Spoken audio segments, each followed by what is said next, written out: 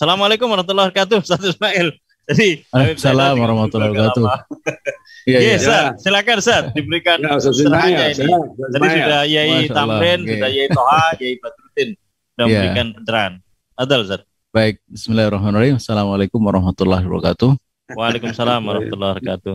Alhamdulillah, salatu wassalamu ala rasulillah wa ala alihi wa ashabihi wa man tabi'ahum ila yaumil qiyamah amma ba' uh, al-mukarramun para alim ulama uh, di sini ada uh, uh, Kiai Khalili Kiai uh, Badruddin Subhi yang awan lama saya di Universitas Ibn Khaldun Gimana iya, kabarnya. Pak Kiai? Kiai, terus banyak itu di belakangnya masih ada Taliban. Jangan dilepaskan. Iya. Supaya uh, menang perjuangan kita. Iya, iya. Kemudian Kiai uh, Muhammad uh, Tamrin Ali, uh, kemudian Kiai Toha Yusuf Sakaria, yang insya Allah nanti tanggal berapa ya? Tanggal uh, dua ya. Ada dua, iya. Saya akan usahakan betul lah bisa hadir walaupun tidak amin, amin, penuh. Ya, Rob. ya. Amin, amin. Kemudian uh, Habib Zainal. Zainal Abidin, ya. Lalu Lora Nurul Jamal Habaib dan Ustadz Ahmad Fasi Nudin.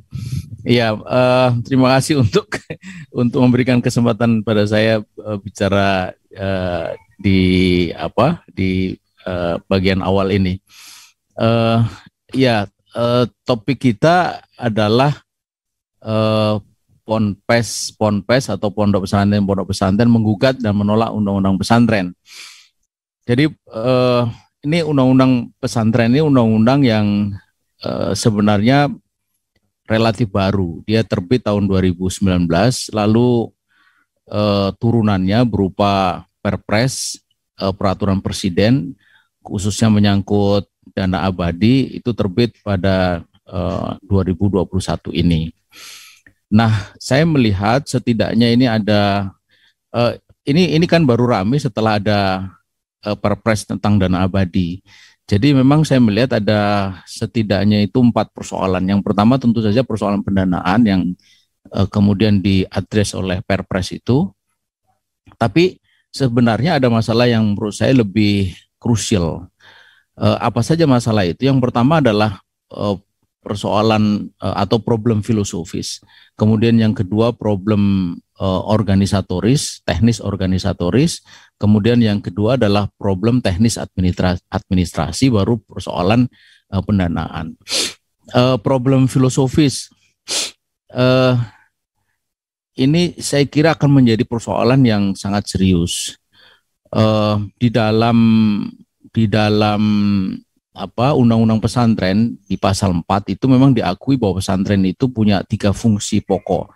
Yang pertama adalah sebagai atau menjalankan fungsi pendidikan, kemudian yang kedua dakwah dan yang ketiga pemberdayaan. Sampai di sini saya kira uh, tidak tidak menjadi masalah karena memang pada faktanya seperti itu ya, pendidikan, dakwah dan uh, pemberdayaan.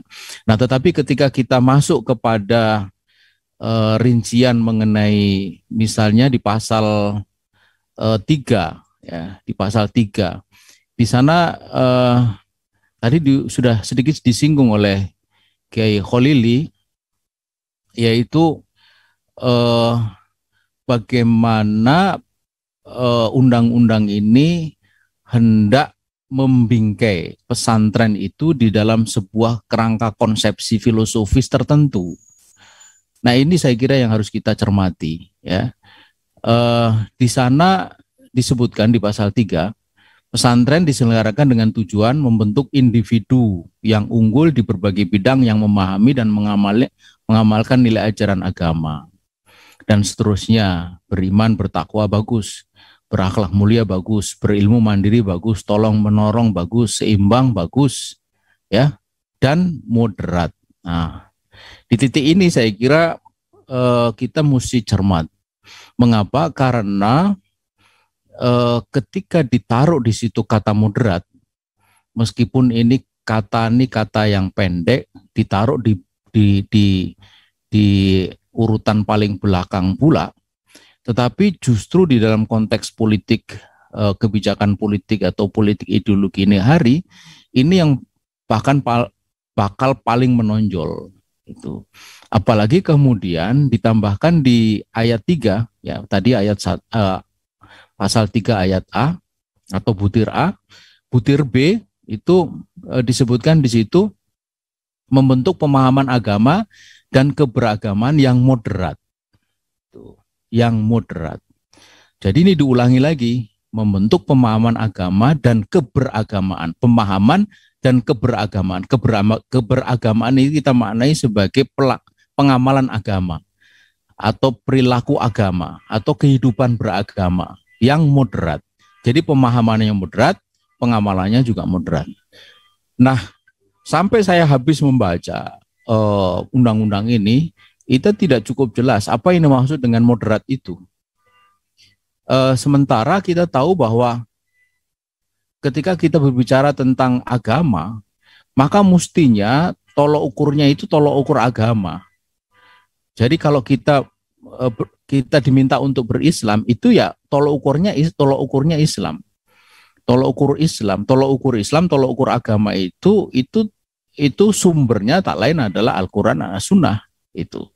Dan Al-Qur'an itu kan jelas sekali menyebut bahwa kita ini diminta untuk untuk menjadi muslim yang sejati. E, sebagaimana disebut di dalam Al-Qur'an e, kalau muslim sejati itu bertakwa, ya takwa yang sebenar-benarnya, takwa yang hak. Ya ayyuhalladzina amanu taqullaha haqqa tuqatih. Itu. Itu jelas sekali disebut. Itu perintah Artinya jikalau kita ini uh, uh, hendak menempatkan diri kita sebagai seorang uh, muslim yang uh, beragama, bagaimana memahami agama dan bagaimana kita beragama, maka ini tuntunannya yaitu kita menjadi seorang muslim yang bertakwa dengan takwa yang sebenar-benarnya atau takwa yang hak. Di ayat yang lain disebutkan bahwa kita ini harus menjadi muslim yang kafah. Udhulu fisilmi kafah. Itu. Nah, di dalam kerangka pemahaman Qurani seperti ini, lalu di mana letak moderat itu?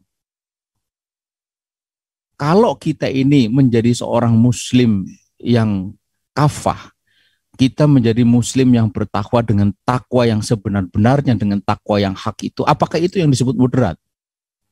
Nah ini ini persoalan. Persoalan filosofis.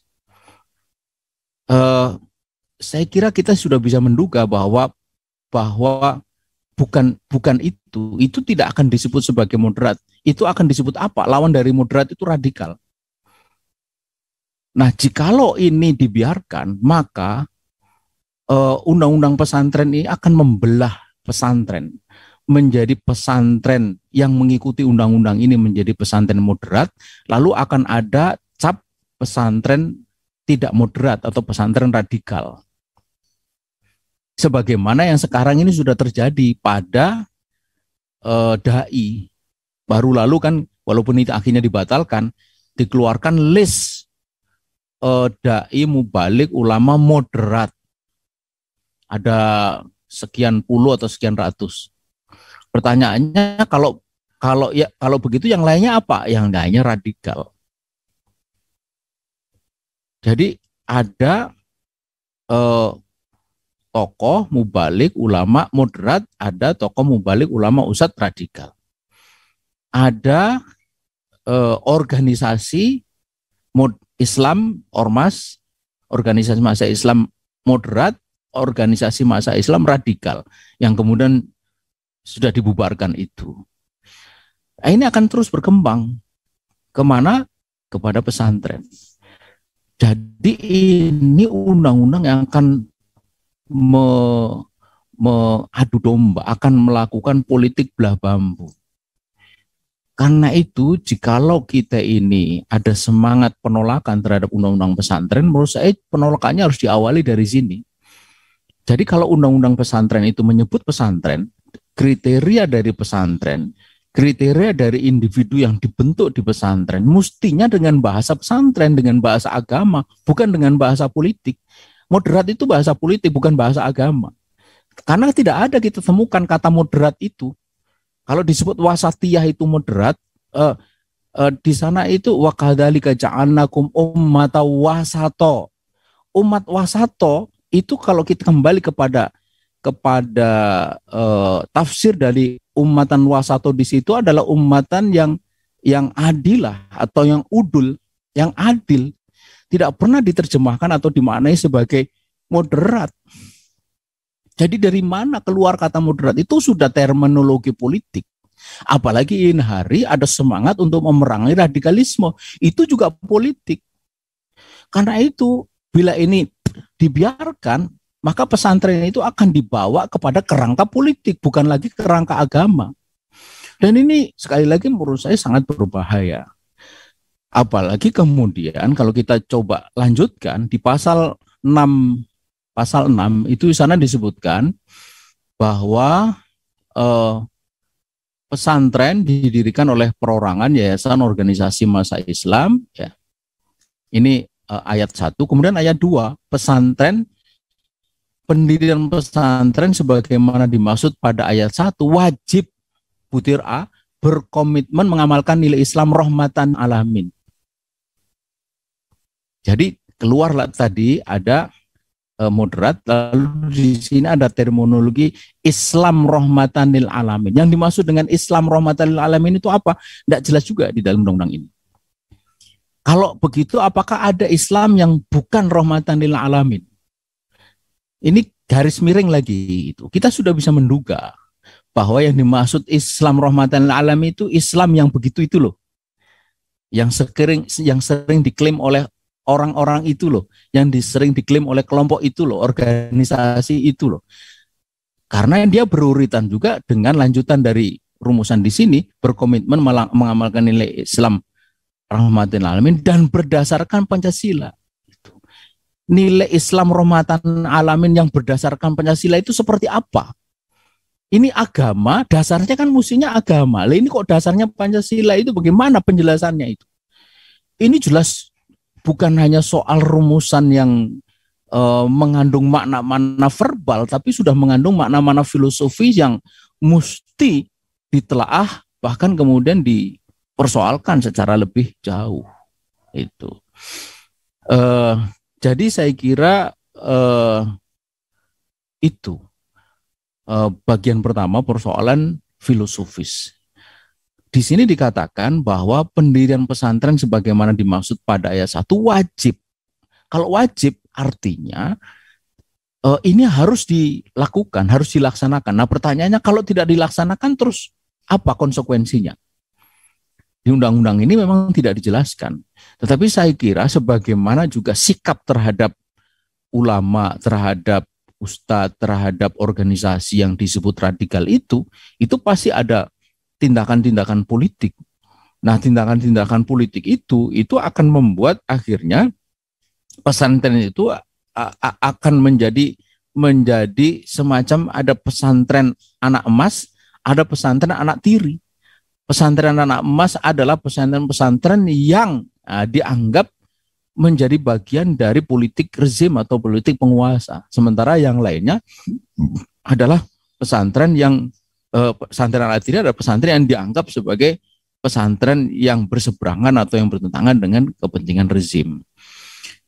Uh, jika itu terjadi, maka alih-alih akan akan muncul kesatuan pesantren, akan muncul kerjasama di antara pesantren yang terjadi adalah pertentangan di antara pesantren itu. Baik, saya kira uh, itu beberapa poin penting yang saya katakan sebagai problematik uh, filosofis. Kemudian masih ada lagi di dalam itu tadi kan menyangkut hal-hal yang uh, berkenaan dengan fungsi uh, kedudukan dan tujuan dari pesantren. Lalu ada lagi di dalam uh, di dalam pasal 37. Di dalam pasal 37 itu di sana disebutkan mengenai dakwah, fungsi dakwah. Ya. Pasal 37. Ya.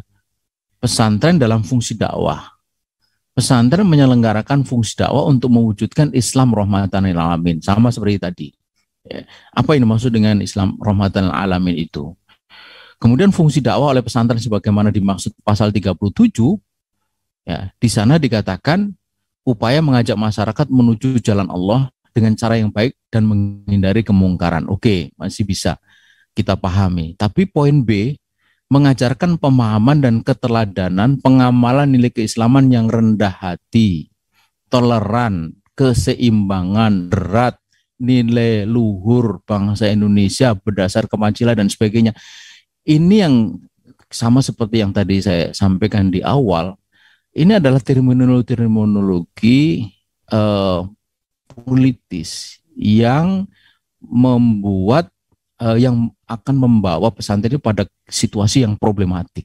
Kenapa? Karena uh, misalnya kalau kita kita mengambil uh, beberapa sampel dari pesantren itu umumnya kan pesantren didirikan sebagai ikumatudin kan gitu. Ikumatudin. Uh, pesantren Ulil Albab di mana saya pernah nyantri di sana bersama Kiai uh, yang dibimbing oleh di antaranya Kiai Badrun Subhi itu, itu kan di sana disebutkan Ulil Albab uh, Universitas Ibn Khaldun itu didirikan untuk ikumatudin, untuk penegakan agama itu. Nah, bagaimana uh, falsafah pesantren semacam ini di dalam kerangka undang-undang pesantren dengan rumusan semacam ini kan menjadi problematik ya. Kemudian yang poin C menyiapkan pendakwah, artinya orangnya ini yang menjunjung tinggi nilai luhur bangsa Indonesia berdasarkan dan seterusnya. Nah, ini yang saya kira persoalan-persoalan problematik yang mesti kita cermati dan uh, selanjutnya ya mesti kita sikapi seperti apa Nah, karena ini sudah menjadi uh, satu undang-undang. Baik, kemudian yang kedua problem organisasi. Di pasal eh, uh, 20 ini problem organisasi dikatakan bahwa bahwa ada uh, penyusunan rumusan kerangka dasar dan struktur kurikulum pesantren yang dimaksud pada ayat 1 ya, itu berbasis kitab kuning dilakukan oleh majelis masayih. Ya, majelis masayih. Nah, majelis masayih sampai di sini kita bisa meraba bahwa majelis masayih itu adalah e, majelis dari para guru, syekh atau e, apa ulama, ustadz ada di situ yang kemudian berkumpul membentuk satu majelis yang disebut majelis masayih itu. Nah, hanya kemudian di dalam pasal 24 itu dikenal ada yang disebut dengan istilah uh, Dewan Masaih. Ya. Dewan Masaih, pasal 24. Tuh. Pasal 24. Ketentuan lebih lanjut mengenai penyelenggaraan pendidikan pesantren diatur oleh peraturan menteri. Nah, di situ. Jadi di sini ada Dewan Masaih, ada Majelis Masyih, ada Dewan Masa, Masaih, tetapi kemudian penyelenggaraan pesantren itu dikatakan diatur oleh peraturan menteri. Nah ini yang saya kira juga akan menimbulkan satu persoalan organisatoris dalam arti di mana letak kemandirian itu. Bagaimana kalau pesantren itu tidak mengikuti peraturan menteri? Apa konsekuensinya? Eh, apa eh, sanksinya kalau umpamanya itu ada sanksi dan sebagainya? Apalagi kalau kemudian kita membaca mengenai pasal 24 eh, lanjutannya yaitu tentang sistem penjaminan mutu pendidikan di pesantren bahwa pesantren itu harus bermutu kita setuju bahwa bahwa mutu harus ditingkatkan betul tetapi bagaimana penjaminan mutu pesantren itu problematik kenapa karena eh, persoalannya kemudian apa tolok ukur pesantren itu bermutu atau tidak bermutu tolok ukurnya apa lalu yang kedua siapa yang yang punya kewenangan untuk menentukan bahwa ini pesantren sudah sudah masuk atau sudah memenuhi uh, kriteria mutu, mutu tinggi. Siapa? Siapa yang menilai? Dan sebagainya. Uh, apalagi dikaitan dengan uh, ketentuan-ketentuan filosofis di depan tadi itu. Bagaimana kalau pesantren itu uh, tidak masuk di dalam kriteria moderat tadi itu? Apakah itu bisa dikatakan pesantren yang tidak bermutu? Atau malah sebaliknya, justru itu pesantren yang bermutu? Nah, ini kan persoalan-persoalan yang yang yang berpangkal pada yang berawal dari problematik organisatoris tapi bertumpu uh, pada problematik uh, filosofis itu. Uh, jadi itu pasal 24 kemudian pasal 26 itu dikatakan di sana bahwa ini berkaitan dengan penjaminan mutu. Rumusan penjaminan mutu yang disusun oleh majelis masayih itu ditetapkan oleh menteri itu. Uh, dalam rangka penjaminan mutu internal pesantren membentuk dewan masayih jadi dewan masayih kemudian ada majelis Masaye. Dewan Masaye memiliki tugas paling sedikit menyusun kurikulum pesantren, melaksanakan pembelajaran dan sebagainya. Menyampaikan data santri yang lulus kepada Majelis Masaye. Jadi Majelis Masaye lebih tinggi daripada uh, Dewan Masa Masaye. Lalu Majelis Masaye, Majelis Masaye merupakan perwakilan dari Dewan Masaye. Ketentuan mengenai tata cara pembentukan Majelis Masaye diatur oleh peraturan menteri. Nah, lagi-lagi di situ ada peraturan menteri berarti itu ada intervensi dari pemerintah. Itu saya kira yang dimaksud bahwa undang-undang undang pesantren ini, ini memberikan ruang atau memberikan jalan bagi intervensi pemerintah ke dalam pesantren. Intervensi itu tidak selamanya bermakna buruk, bisa juga bermakna baik. Persoalannya tinggal diintervensi oleh siapa, oleh penguasa bercorak seperti apa, dengan gagasan filosofi seperti apa. Itu yang menjadi masalah. Jikalau seperti sekarang ini ya kita bisa menduga kira-kira intervensinya seperti apa. Jikalau misalnya pesantren itu dinilai tidak moderat umpamanya.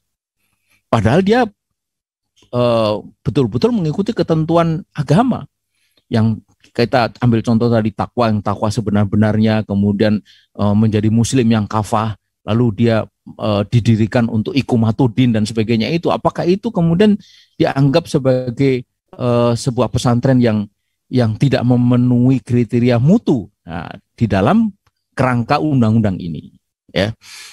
Uh, saya kira itu kemudian yang ketiga ini problem teknis administratif. Uh, ini yang saya kira sekilas memang bagus. Ini soal sistem informasi pesantren. Sistem informasi pesantren. Begitu informasi di dalam pesantren itu dibuka melalui sebuah sistem informasi pesantren yang sifatnya sudah sangat uh, digital ini hari, maka hampir-hampir sudah tidak ada lagi uh, kalau dalam bahasa ininya itu aurat. Karena semua karena semuanya sudah terbuka di pasal 47 ya, tentang sistem informasi pesantren. Ini saya kira uh, namanya informasi itu bisa begini bisa begitu. Tergantung mau digunakan untuk apa. Karena itu saya kira kita harus alert eh, dalam hal ini. Harus mempunyai kewaspadaan bahwa saat ini informasi itu sesuatu yang sangat penting. Karena dari informasi itu orang bisa melakukan langkah-langkah tertentu itu menyangkut e, macam-macam di sana. Karena ada jumlah ada donasi ada jumlah guru ada jumlah aset segala macam itu bisa masuk di dalam sistem informasi ini. Uh, karena di sana dikatakan juga di pasal 47 ayat 2 sistem informasi dan manajemen pesantren sebagai yang dimaksud pada ayat 1 diselenggarakan secara terpadu dengan pengelolaan data dan informasi oleh menteri. Nah, terpadu. Itu. Uh, sekali lagi tidak selamanya buruk, tergantung bagaimana informasi ini mau dipakai untuk apa, untuk kepentingan apa itu menjadi masalah, ya. Kemudian eh, dikatakan memang di ayat 3 data dan informasi hasil pengelolaan digunakan untuk pengembangan pesantren. Dan yang terakhir adalah problem pendanaan. Kembali lagi bahwa orang membantu pesantren itu bagus karena pesantren ini salah satu problematikanya kan memang pendanaan. Baik itu pendanaan untuk kepentingan pengembangan aset, eh, tanah, gedung, fasilitas macam-macam maupun untuk operasional gitu. Eh, tetapi kita tahu bahwa pendanaan itu adalah bagian yang paling jamak digunakan untuk melakukan campur tangan intervensi. Nah, karena itulah maka di sini juga kita memerlukan sebagaimana informasi tadi itu itu kewaspadaan.